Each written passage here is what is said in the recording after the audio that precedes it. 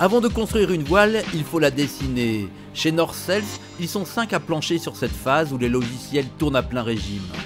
Yann Regnault est l'un d'eux. Avant d'être pleinement satisfait d'une voile, il est capable de dessiner jusqu'à 40 modèles différents, ce qui représente quelques 10 jours de travail. Moi je travaille sur des projets, donc il y a la discussion avec un skipper, avec un coureur.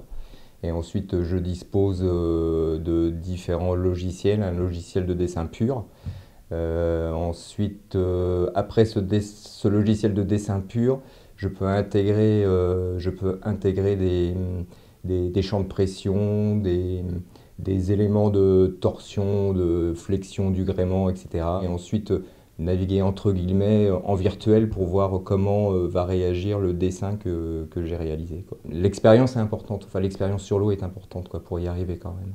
Le, logiciel, est juste un outil, euh, c'est une aide. Quoi. Sur le jeu de voile du projet Rivage, Yann Regnault travaille en collaboration avec l'américain Steve Calder pour croiser les expériences. Lui, il a une expérience euh, du Volvo 70, moi j'ai l'expérience euh, des IMOCA. Et puis on essaye de travailler ensemble et, on a proposé différents types de moules de dessin. Bernard, et puis ensuite, euh, lui, par rapport à ce qu'il ressent et son expérience, il nous a, euh, il nous a demandé, ben voilà, je veux plus creux là, plus plat ici, je veux une voile avec des profils moins tendus à cet endroit-là. Enfin voilà, il y a eu une discussion entre les trois. Et puis on a essayé justement de...